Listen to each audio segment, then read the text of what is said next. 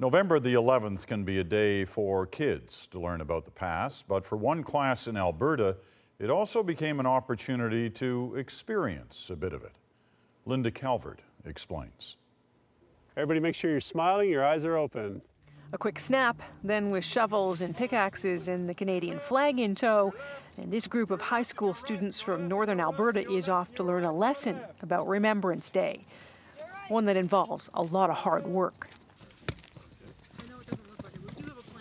They are uh, digging typical World War I slit trenches. It's a living history class, says their teacher and former reservist, Mike McKay. I'm trying to erase this idea that Remembrance Day is just a day off school or a day off work.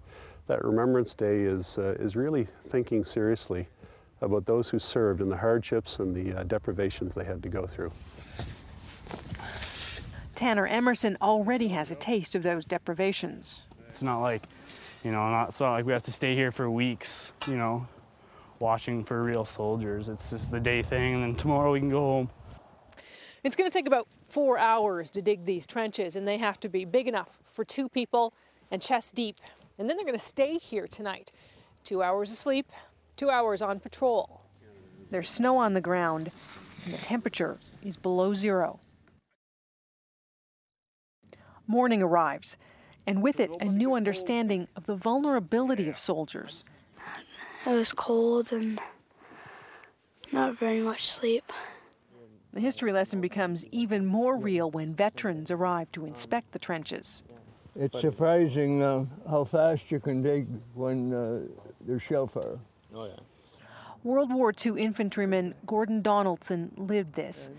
And for a moment, the sight of the boys and the trenches is almost too real. But what I do remember is the ones that didn't come back.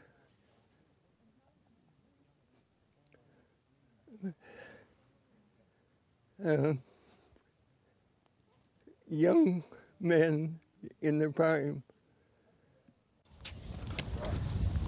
McKay says he'll do this again next year, and he's hoping other schools will pick up the idea too. Linda Calvert, CBC News, Eaglesham, Alberta.